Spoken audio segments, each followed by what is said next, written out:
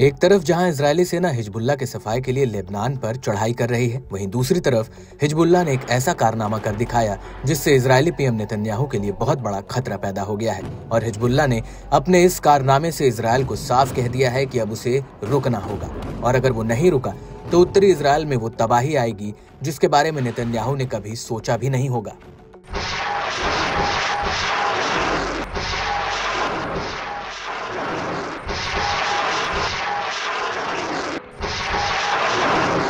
दरअसल हिजबुल्ला ने उत्तरी इसराइल में अपना एक जासूसी ड्रोन भेजकर आईडीएफ के तमाम संवेदनशील ठिकानों की जानकारी जुटा ली है।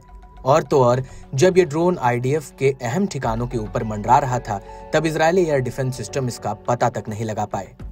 इसराइल के तमाम मॉडर्न हथियारों की नाक के नीचे से ये ड्रोन आईडीएफ की जानकारी रिकॉर्ड करके वापस लेबनान लौट आया। जी हाँ हम बात कर रहे हैं हिजबुल्ला के ऑपरेशन होप थ्री की, जिसका वीडियो अब हिजबुल्ला ने रिलीज़ कर दिया है। हिजबुल्ला का कहना है कि उसने हाइफा और कैरमेल के इलाके में इजरायली सेना के अहम ठिकानों की खुफिया जानकारी इकट्ठा कर ली है और अब हिजबुल्ला इन ठिकानों पर हमला कर सकता है।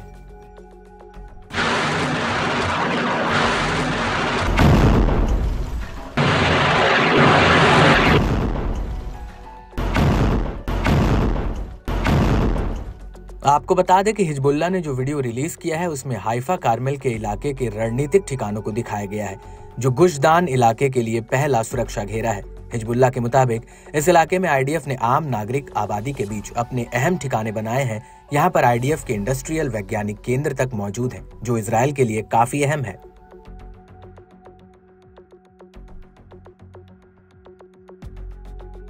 हिजबुल्ला का कहना है कि उसने मिशमार एयरबेस की जानकारी जुटा ली है, जो नॉर्दर्न कमांड और तेलवीव में सुरक्षा मंत्रालय के बीच बातचीत का एक प्रमुख ज़रिया है। इसके अलावा मिशमार हैकरमेल एयरबेस का भी वीडियो रिकॉर्ड किया गया, जहाँ पर हाइफा और आसपास के इलाकों की सुरक्षा के लिए एक एयर डिफेंस अड्डा है। हिजबुल्ला ने दावा किया कि उसे हाइफा यूनिवर्सिटी की छत पर बने एक सैन्य संचार नोट का भी पता चला, जो एक अपर केबल कार स्टेशन है।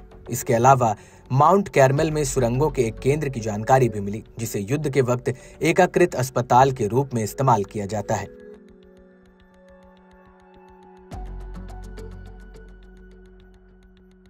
हिजबुल्ला के मुताबिक उसका ये जासूसी ड्रोन किरियत नाहूम इंडस्ट्रियल इलाके Haifa oil refinery Kiryat Ata industrial zone की जानकारी भी ले आया। इस ड्रोन ने Nesher cement company Iron Dome के radars Iron Dome platforms command rooms और ट्रूप पोजीशन की जानकारी भी रिकॉर्ड की है। हैरान करने वाली बात यह है कि ये drone Yitzhak Rabin complex Haifa University Eshkol Tower the Grand Canyon Mall के ऊपर बिना किसी रोक टोक के तमाम संवेदनशील जानकारी रिकॉर्ड कर लाया है। हिजबुल्ला का यह भी दावा है कि जेएफ एयर बेस का भी वीडियो रिकॉर्ड किया गया है, जहाँ पर इसराइल के air defence system David Sling batteries को तैनात किया गया है। इसके अलावा बीएमसी पर कमांड रूम्स और कीरियत एलिजर एयर बेस का भी भेद हिजबुल्ला को मिल गया है। हिजबुल्ला के मुताबिक, इस एयर बेस पर हाइफा और आसपास के इलाकों की सुरक्षा की ज़िम्मेदारी है।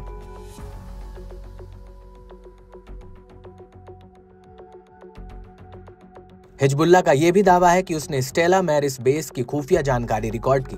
हिजबुल्ला के मुताबिक, ये बेस उत्तरी तट से सटा हुआ है, जहाँ पर आईडीएफ का मैरी टाइम मॉनिटरिंग और सर्विलांस तैनात है, जिसमें मल्टी रेरल रडार सिस्टम भी है। आपको बता दें कि इस वीडियो को रिलीज़ करने से पहले हिजबुल्ला की हाइफा कारमेल इलाके के काफ़ी भीतर कई रॉकेट हमले किए गए। हिजबुल्ला का कहना है कि उसने कारमेल और हाइफा के दक्षिण में बने बहत्तर सौ बेस पर भी रॉकेटों का जत्था और एक तरफा वार करने वाले घातक ड्रोन दागे हैं।